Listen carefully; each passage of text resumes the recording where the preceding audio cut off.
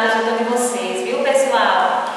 Ó, um abraço bem forte, quero que vocês sintam esse abraço da tia aí em casa, tá? Bom, na nossa aula de artes de hoje, nós vamos dar continuidade de onde nós paramos, tá certo? No livro de vocês, ó, que se encontra na página 231, tá ok? Então, pega aí o material de arte, tá? E coloca na página 231. Colocaram? Muito bem. Na página 231, meus amores, nós temos um mão na massa que nós, vocês vão fazer, vocês aí de casa vão produzir uma marionete, tá certo? Na aula anterior, não sei se vocês lembram, vocês fizeram uma, uma atividade relacionada ao, ao boneco, né? Feito de papel. Lembram? E a Vanessa trouxe um saquinho de pipoca e vocês fizeram um fantochezinho com ele? Não foi? Uma aula super bacana. Então hoje nós vamos fazer um outro tipo de boneco. Só que desta vez é uma marionete, tá certo? Olha só.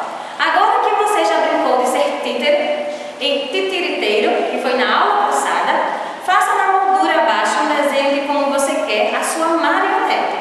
E depois produza com rolinhos de papel, retalho e barbante.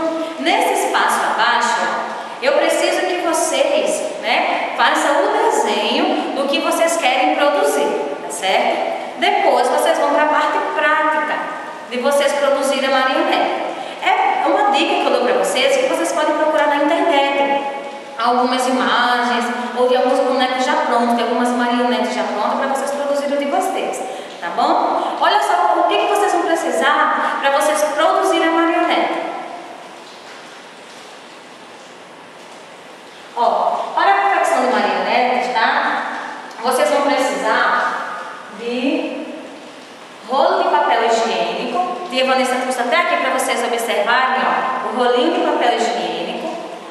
Pode ser até outro tipo de rolinho de, de papel, tá? Pode ser aquele rolo do, que vocês têm de papel laminado, pode ser do papel filme, tá? Vocês podem dividi-los e produzir a sua marionete. Fica a critério de vocês.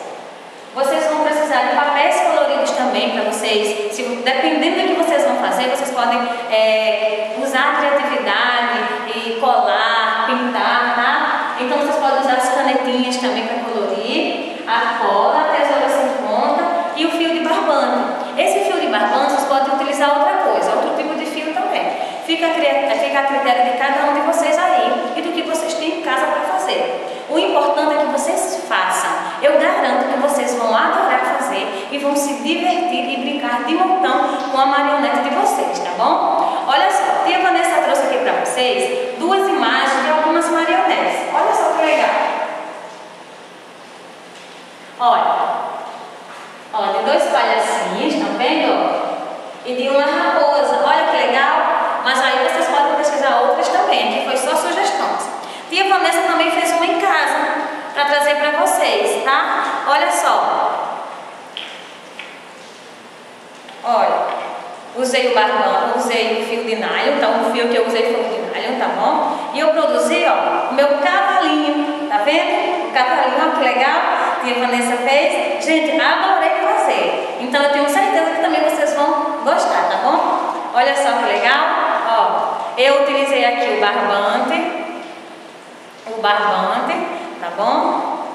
Aí, olha, colori com tinta branca, os cabelinhos eu fiz de, de fita mesmo, foi o que eu tinha em casa. Usei as perninhas dele, fiz de, de tampinha de garrafa. Então, assim, tia Vanessa foi usando o que eu tinha em casa, tá certo? Então, vocês façam isso. Bom, na próxima página, na próxima página, nós vamos para o terceiro capítulo, né? O papel faz som.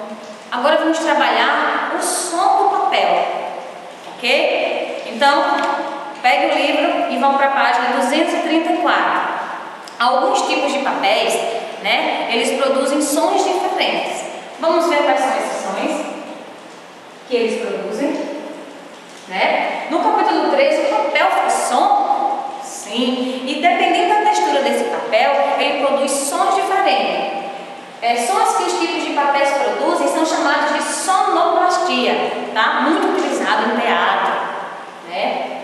Por exemplo, papel celofane, ele produz o som da chuva. Sacudir placa de papelão, trovoada. Bater caixa no chão, dá sensação de passos.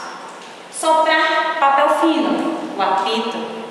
Bater no fundo de uma caixa, o tambor. Então, estão vendo aí os exemplos que eu dei para vocês? O barulho que os tipos de papéis fazem? Legal, não é? Então, esse é chamado de sonoplastia, o som que o papel é capaz de produzir. Então, na página de vocês, 236, ele fala sobre um outro tipo de som que é produzido pelos grupos musicais. Coloque aí na página 236 para acompanhar a tia Vanessa. Ele é um conjunto, né? Os grupos musicais é um conjunto de pessoas que executam algum tipo de música juntos. É necessário um líder para controlar e executar a proposta do grupo musical para que haja uma harmonia. São chamados de maestro, maestrina ou regente. Esse líder musical, né, ele faz ali todo o comando para que a música saia é, em harmonia todo mundo escute cada, cada som produzido por cada instrumento musical, né, um conjunto. Na próxima página, na 237, é, vocês têm com a lupa na mão. É o que eu quero que vocês também façam aí em casa, que diz o seguinte: acompanhe a tia Vanessa aí com a lupa na mão. Entreviste alguém da sua família para saber o nome do grupo musical preferido dessa pessoa. Descubra também os instrumentos utilizados neste grupo. Você pode pedir ao seu familiar para escrever essas informações e outras curiosidades que ele lembrar, tá bom? Então, nessa atividade, é importante que vocês usem um papel, pode usar o papel ofício ou pode usar o seu caderninho, tá? E anotar essas informações, tá certo? Esse é também para fazer em casa. Tá bom? Então, essa foi a nossa aula de arte. Espero que vocês tenham gostado.